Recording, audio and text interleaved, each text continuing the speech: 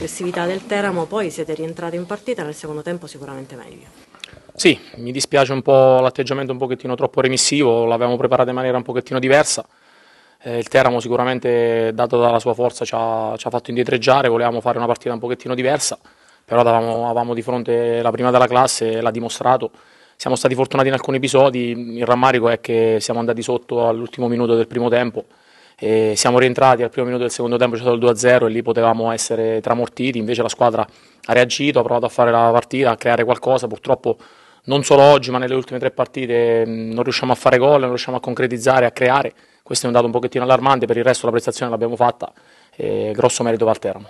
Lo so che la domanda è pericolosa, però se tu in questo periodo dovessi scommettere su chi vincerà il campionato, chi lo vincerà? Il Città di Teramo o il Giulianova?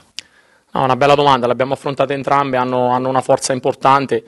Probabilmente ad oggi mi permetto di dire che forse il Giulianova ha qualche cambio in più, questo non per sminuire la rosa del Teramo, secondo me la vedo così, insomma il Giulianova ha una rosa un pochettino più ampia, credo che il Teramo a dicembre farà qualcosa per ampliarla, però il valore è un valore di due, due squadre importanti, adesso ci sono questi quattro punti di distacco che potrebbero fare la differenza, quindi sarà sicuramente difficile e dura fino, a, fino alla fine. La scommessa su chi lo fai?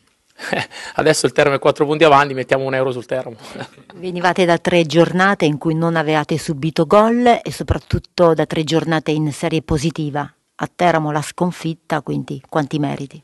Sì, no, noi avevamo trovato una certa quadratura, non avevamo preso gol, avevamo fatto delle partite solide, avevamo creato anche tanto, non riuscendo a concretizzare, sapevamo che oggi per uscire con un risultato positivo c'era bisogno di una prestazione impeccabile, abbiamo lasciato qualcosina, il Teramo naturalmente ha una forza diversa dalla nostra e quindi grosso merito va a loro, ma io sono comunque orgoglioso dei ragazzi perché nel secondo tempo anche con i cambi sono entrati tanti ragazzi giovani, abbiamo provato a fare, a fare la partita cercando di, di, accorciare le distanze, non ci siamo riusciti ma non cambia il nostro percorso e io sono contento di questa rosa, eh, sono contento di aver recuperato Romanucci e Mosca che sono due giocatori fondamentali per noi, quindi andiamo avanti con grande fiducia.